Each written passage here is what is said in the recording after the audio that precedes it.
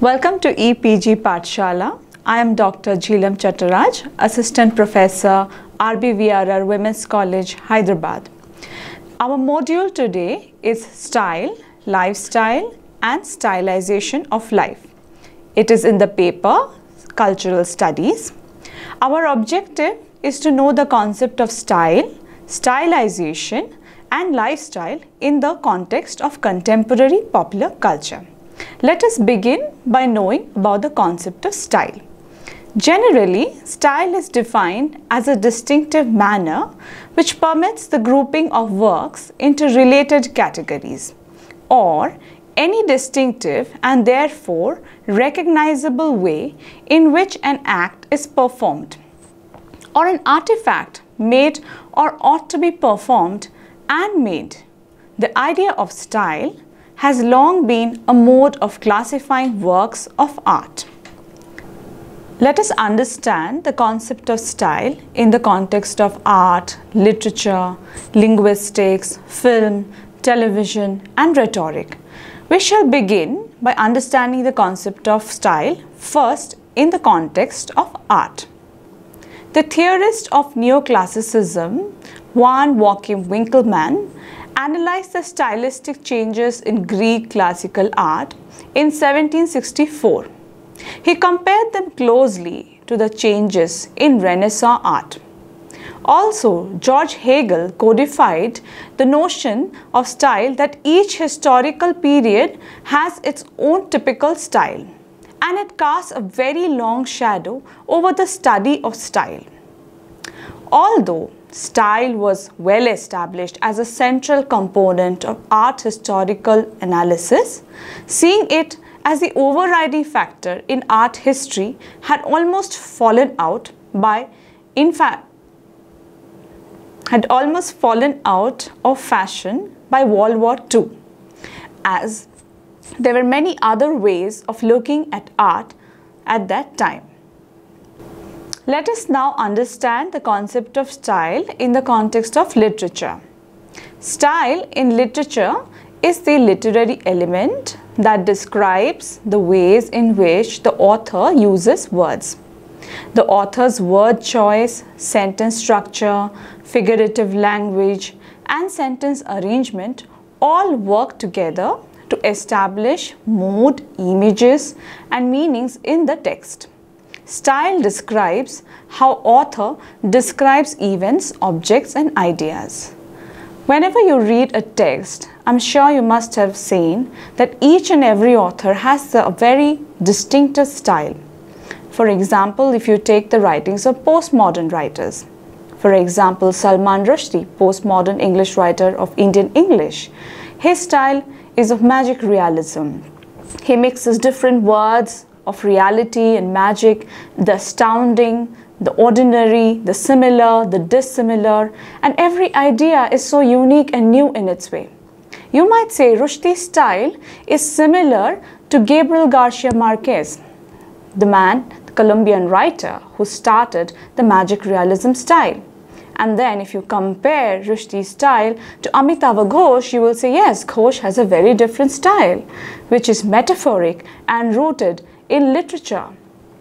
It is full of similes, metaphors and reference to historical events. The language is simple, smooth and highly poetic. I hope it is clear to, to you that every author, every poet, they have a style of their own. Next time when you read a text, try to understand and analyze the style of the writer.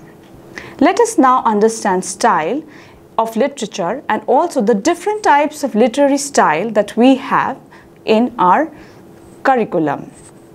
First, we shall begin with expository or argumentative style. Expository writing style is a subject-oriented style. The focus of the writer in this type of writing style is to tell the readers about a specific subject or topic, in the end, the, of the author leaves out his own opinion about that topic. This is very different from the descriptive style. In descriptive writing style, the author focuses on describing an event a character or a place in detail. Sometimes descriptive writing style is poetic in nature, where the author specifies an event, an object, or a thing, rather than merely giving information about an event that has happened. Usually, the description incorporates sensory details. You must have noticed while studying Romantic poetry how the poets use the descriptive style in the poems. William Wordsworth, Samuel Taylor Coleridge, and especially I would refer to William Wordsworth in his poems like Daffodils, Tintern Abbey. He describes the place, he describes the beauty of the English countryside. Next time, when you study William Wordsworth, try to analyze his style in the context of descriptive style. The next style is persuasive style. Persuasive style of writing is a category of writing in which the writer tries to give reasons and justification to make the readers believe his point of view. The persuasive style aims to persuade and convince the readers. This style is primarily adopted by essay writers, Francis Bacon, Joseph Addison, Charles Lamb. Their style is always to convince you about a point that they believe in. I'm sure next time when you read this text, you will try to study them from in the context of persuasive style. Let us now move to the narrative style. Narrative writing style is a type of writing where the writer narrates a story. It includes short stories, novels, novellas, biographies, and poetry. Narrative style is the most common form of style that is used by most writers. It is the easiest and the most convincing and of course the most entertaining. It, it, gives poetic license. It allows authors, poets to imagine their own world and then narrate it in their own way to the readers.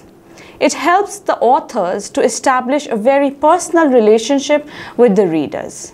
Most of the novels that you have read in your post-graduation, you will find out that they are based on a narrative style.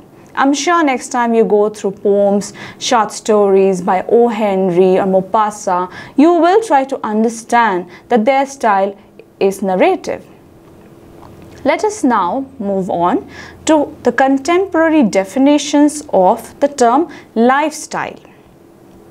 According to contemporary dictionaries, lifestyle is the particular way of life of a person or a group. This definition has been offered by the Concise Oxford Dictionary 1990. The Longman New Universal Dictionary 1985 defines the term lifestyle as an individual's way of life. Lifestyle is not an easy term. It refers to many things. Of course, our purpose here is to understand the concept of lifestyle in the larger picture of our contemporary culture. So, the term lifestyle here has not only become a part of common sense, but it is also central to contemporary consumer culture. I'm sure you understand when you see advertisements in newspapers, televisions, or while you are watching web series on internet. And if you study the products that are advertised, they are not advertised as products. They are shown as a way of life.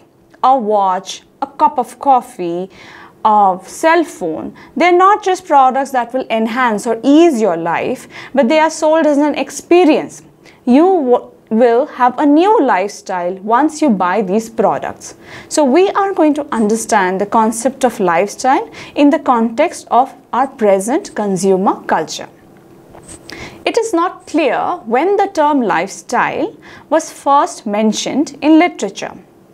But the first definitions of the term go back to 1920s when sociologist Max Weber and shortly after him psychologist Alfred Adler introduced the term, they also gave birth to its ambiguity.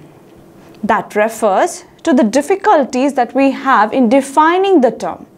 I hope you understand that lifestyle, when we understand in the concept of culture, does not have any parameters of its meanings. Culture keeps changing and hence the term lifestyle will also attain new meanings with time. Of course, later on the concept was introduced to marketing by William Lazer and then it was modified several times. Even today, the concept of style is not very well defined. Lifestyle has many properties. To help you understand it, we have reduced it to the three common properties of lifestyle.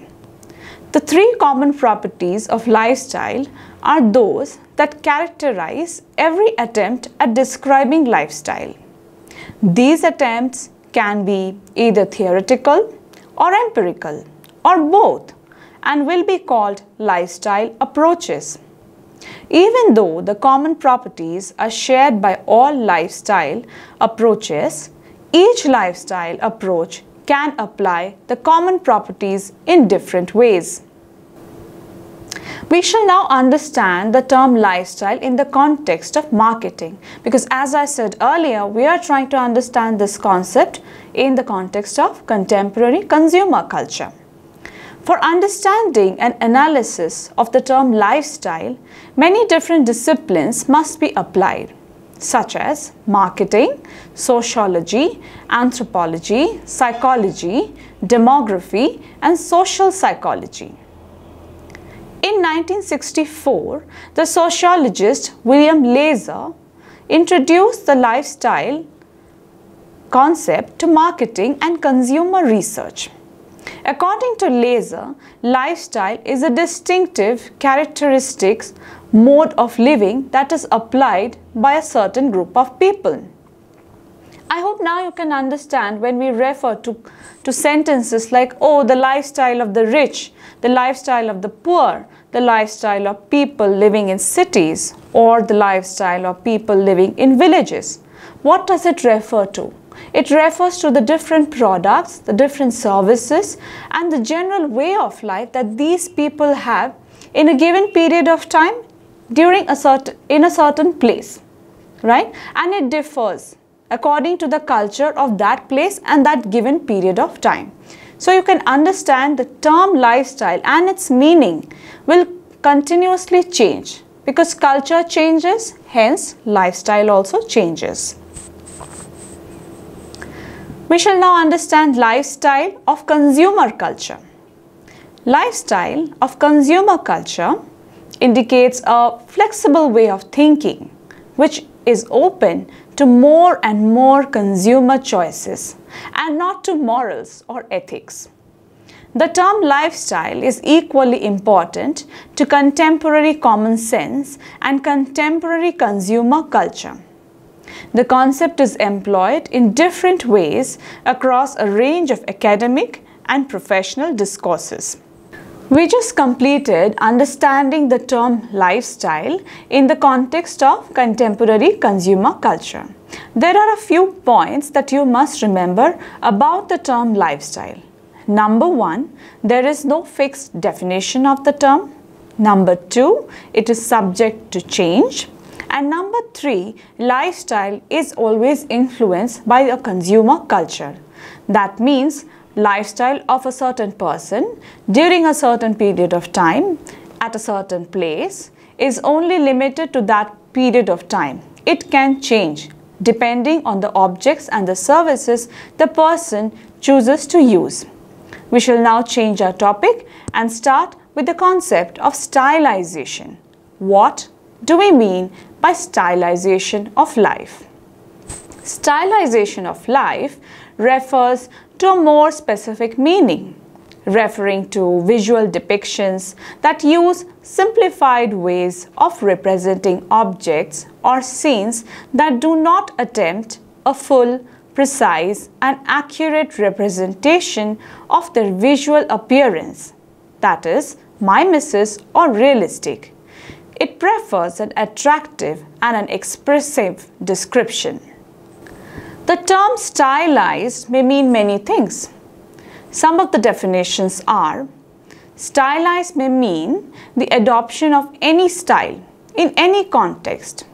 Stylization is a natural method of rhythmic organization in decorative art, where the subordination of each pictorial element to the overall compos composition is particularly important.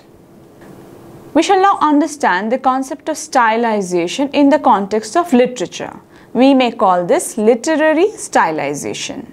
Stylization has often served as a means of retreating into the imagery, idealized world of the past or as a sign of dissatisfaction with the ordinary and commonplace and with traditional ideological and artistic norms.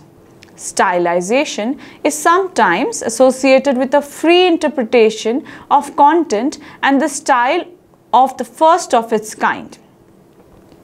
I hope you understand by stylization we refer that every individual element is more important than the art as a whole right? So if there is an exhibition and there are different pieces of art, what we will try is to give more importance in the presentation of those individual pieces of art rather than the exhibition as a whole. And this is what we do when we produce works of art or literature. Say you're writing a poem and you want to stylize the poem. Now the poem is, of course, it has an organic whole. It has, say, 17 lines. And those 17 lines together form the poem. But the effect of that poem is not due to the total effect of those 17 lines. It is how you are stylizing each line. In each paragraph, in each stanza, you're trying to include more imagery or metaphors and you're trying to complicate your message. You're trying to words, you're trying to mix truth and beauty in each and every word of the poem. So you are stylizing each and every content, individual content of the poem and then together it is becoming a stylized product. We shall now sum up. In conclusion, we can say that we have so far discussed the concept number one of style, number two lifestyle and number three stylization. We must understand that all of these concepts are constantly changing in the context of contemporary culture. Their definitions are not finite and a lot more research is required to understand them completely. I hope this lesson was helpful for you. For further understanding, please refer to the links provided in the e-text and also the suggested reading that is the names of the books that has been provided there. Thank you.